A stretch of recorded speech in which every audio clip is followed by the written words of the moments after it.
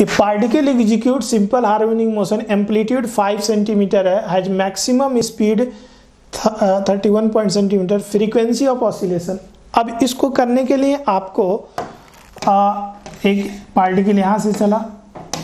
ये main position है। इधर जाएगा इधर आएगा रुक नहीं पाएगा आएगा फिर जाएगा एंड सो आए इनफाइनाइट टाइम तक ऐसे करता रहेगा।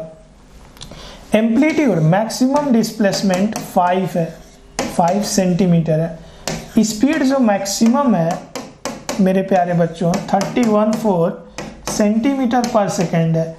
तो फ्रीक्वेंसी ऑफ़ ऑसिलेशन कैसे निकाला जाए frequency of oscillation speed position dependent लिख दो।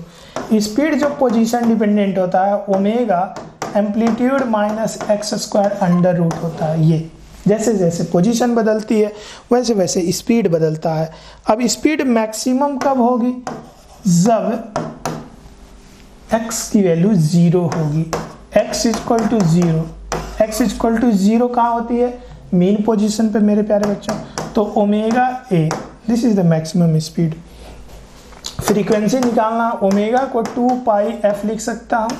ए तो जो फ्रीक्वेंसी की वैल्यू आ गई वो आ जाएगी maximum speed divided by two pi amplitude A this is the required frequency value डाल दो।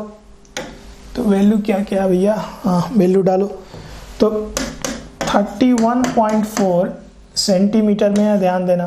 तो 2 पाई 3.14 और एम्पलीट्यूड 5 तो ये भी सेंटीमीटर में भी सेंटीमीटर में है। तो पाँच दुना दस, और ये पॉइंट यहाँ आ गया, और ये इससे कट गया वन हर्ट्स आ गया। ठीक है?